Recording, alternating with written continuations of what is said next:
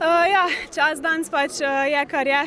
Sem uh, seveda upala na kaj hitreje, ampak uh, mislim, da je realno, da sem uh, nekje tam, kjer sem sezono začela, glede na to, da od uh, zadnje tekme pet tednov nazaj, ko sem si natrgala um, mišico, v bistvu štiri tedne nisem tekla, pa pa en teden nekaj mal provizorično trenirala, predvsem testirala, uh, kaj lahko, kaj ne in pač danes prišla na štart z upanjem na najboljš. Um, pač situacija je zdaj taka, da če hočem imeti še kakršno koli šanso za Pariz, pač moram malo uh, tvegati. Zaenkrat žal pač ne kaže še najboljš, ampak uh, mislim, da imam še dve priložnosti.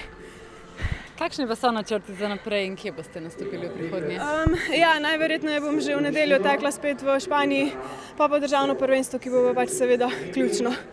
Koliko se še čuti poškodba? Um, ja, na srečo nočno. Danes med tekom me ni nič bolelo, čeprav pač nažalost nisem mogla glave čisto izključiti do te mere, da ne bi praktično pač vsak korak nekako bila pozorna na to, kaj se pač v nogi dogaja. No. Ampak uh, upam, da mi bo ta tekma zdaj dala predvsem pač to neko samozavestno v prihodnje, da bom lahko tekla brez te predvsem mentalne inhibicije.